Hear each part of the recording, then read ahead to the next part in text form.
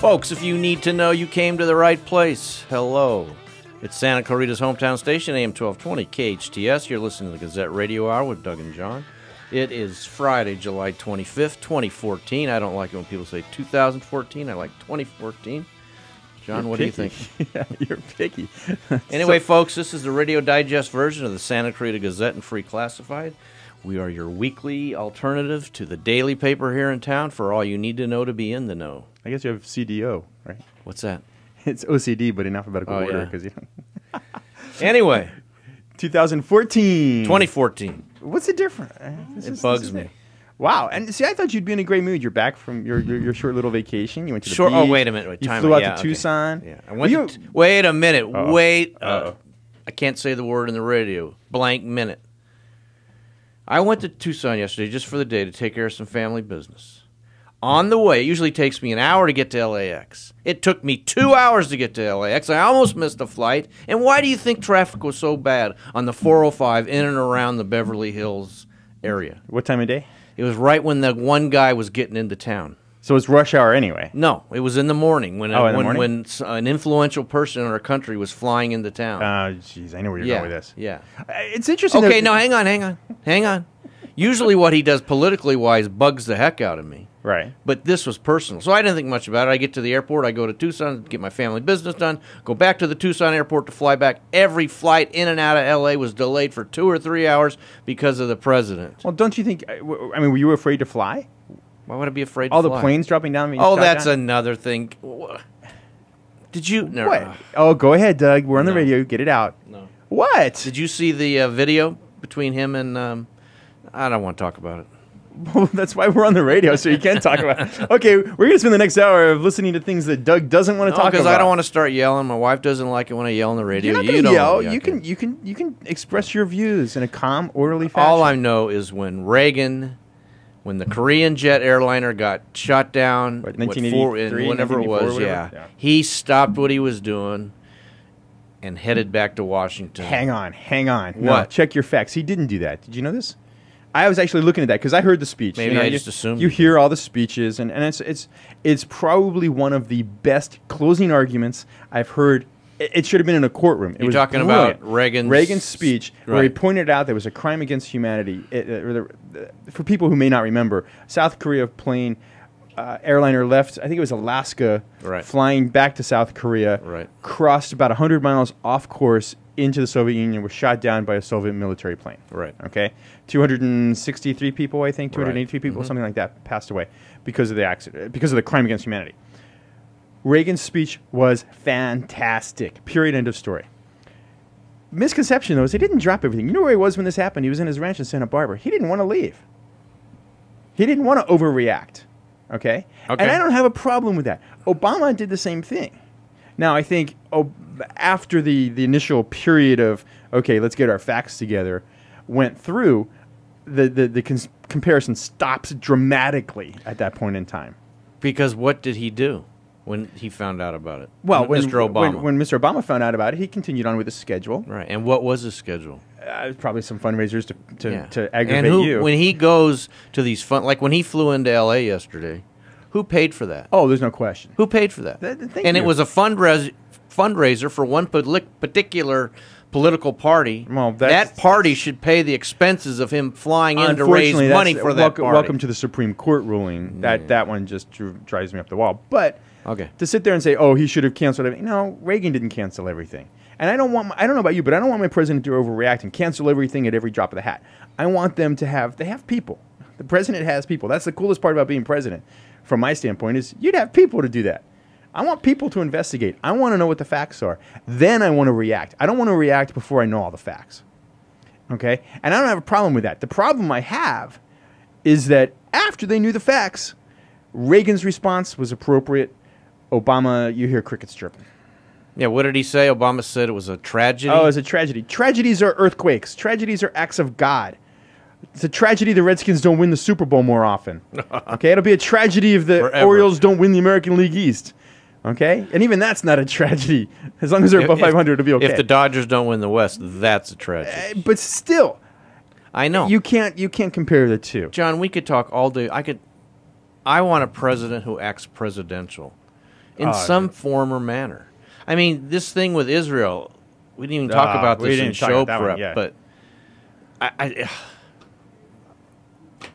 that's, I- I- boy, that's that, that that seems to be Obama's response too. Yeah. Did you see where where the prime minister of Israel goes, "Hey, a ma- you know, when you're a leader, you're a man. A man's got to do what a man's got to do. A country's got to do what a country's got to do. do. And what have we done? nothing. We're not even supporting Israel. No. Howard Stern, of all people, came out and said, "Hey, if you don't support Israel, you're not supporting America."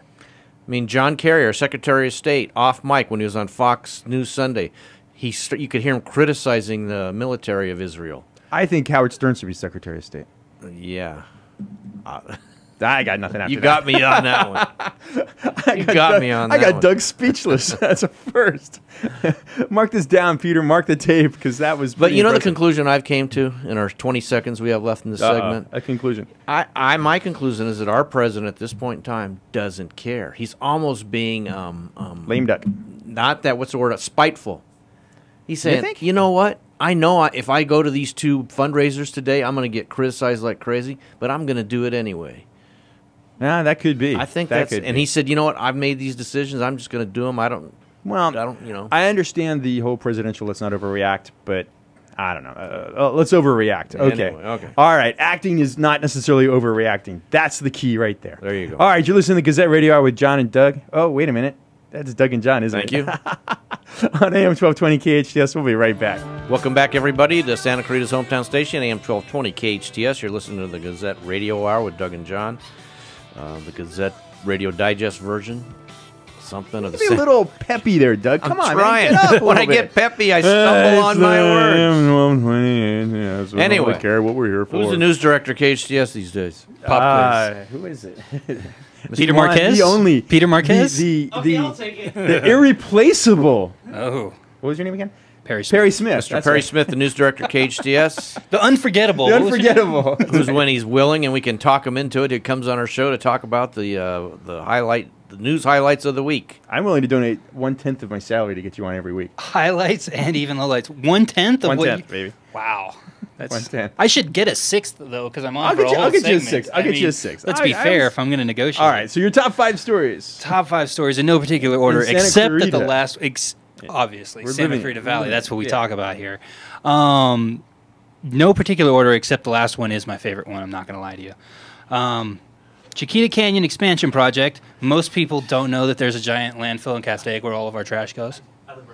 Oh, Peter, Peter, Peter, our knows. sound engineer. Peter knows. Apparently and Peter is well aware. right by it. Um, so whatever you might notice about it, you're probably going to notice a little bit more because they're uh, almost doubling their size, and the daily loads that are going there, they're they're slowly ramping that up. So that's going to double um, if their approved plan or if their plan gets approved. You're going to see a lot more trash trucks. And that's uh, the county likely. going to approve it. Right. Ideally, it's a county planning issue. Um, the area is not in city limits. It's about three miles west of Interstate 5. There's a huge landfill there. Most of the, uh, some of the controversy from it, from Santa Clarita Valley residents, is that most of the trash going there does not come from our area. We don't sustain an entire landfill by ourselves. A lot of it comes from LA.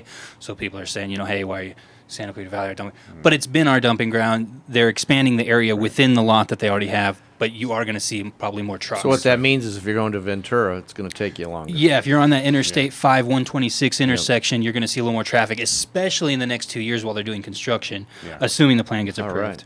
That sounds like fun. Keep moving right along. This one was kind of interesting to me. The, the coroners uh, finally ID'd this murder victim whose body was found dumped in a ditch. Uh, the only reason they found the body was because they were mopping up the pine fire last year, or no, Oh. in March. Yeah, in March. That's It's 150 right. acres that burned in Gorman, where nobody lives in the Angeles National But Forest. the person didn't die from that fire. But the person did not die from that fire. They were they were placed there in sub- suspicious circumstances. That's why you always dump somebody in a landfill. Exactly. And you know I- they these two stories connect, and you didn't even know that. the I mean the odds the odds What against this learn? guy. You know whoever probably killed this person is like you got to be kidding me. There was a fire in the the one landfill. spot You don't where I dumped the dead bodies body. after the. Why does this stuff always happen to me? Yeah, right. but um, so we're we're still trying to find out who that is. Um, they haven't released the name publicly because they're still trying to track down the guy's family. But they think the body was there for at least four years before they found it. Wow. So it could be a really cold file, Exactly. a cold case. Exactly, and we've actually been talking. Is nobody knows this yet, but we've been talking with an investigator in Florida who's um, who might this the victim might be somebody who's wanted for murder. So we don't know. Oh. There might be a little bit of intrigue. I don't promise too fun much, but it's going to be a story that's unfolding, and we'll have be more like movie of the week. as soon as it's ready. Um, the Board of Supervisors unanimously approved water use fines. So that's something that might hit everybody's pocket starting August 1st if you're uh, wasting your water. Now, is that going Um, to be strictly based on consumption? Do you know? Well, it's it's the uh, the ordinance as it is from the state, in which the county chose to adopt, is prohibiting certain water uses, including washing down driveways and sidewalks, using a hose uh, to wash a car unless it's fitted with a shut-off nozzle, and using potable water in a fountain. Um, But how are they going to police this? Well, that's the thing. That's been the issue. They don't have a you know water cops per se, and they don't have authority. So um, there's software coming into plans, and the CLWA is working on something. It might just be like honor system, snitching Or you, system. rat, are you rat on your yeah, neighbor? rat on your rat neighbor. honor, whatever you want to call it. Um, Why don't they So- just implement fines? I mean, if you reach a certain level of usage, you just pay out the nose. and uh, that might be part of it too. probably They're coming. still, they're yeah, they're they're going to announce their system in that first week of August, so we're going to know exactly blame the how it's going to shake out here. California for hoarding all the water. But you can. On a And the side note, so they're being selfish. on a side note, did you see where the, the governor um, let uh, the HOAs know across the state they can't find people Right. for having brown grass? that was one of the folks things. Yeah, getting- that was a big one. Yeah. And that's just like the first uh, strike across the bow, if you will. There's going to be more, and you're going to pay Right. for it out of your pocket if you're wasting water. I mean, they do have I ways. should in- Yeah, we, we should are. invest in um, artificial grass companies. Ooh, there you go. That's good. Yeah. That's good. There you go. Drought tolerant plants. Okay, we got two minutes, so let's keep moving.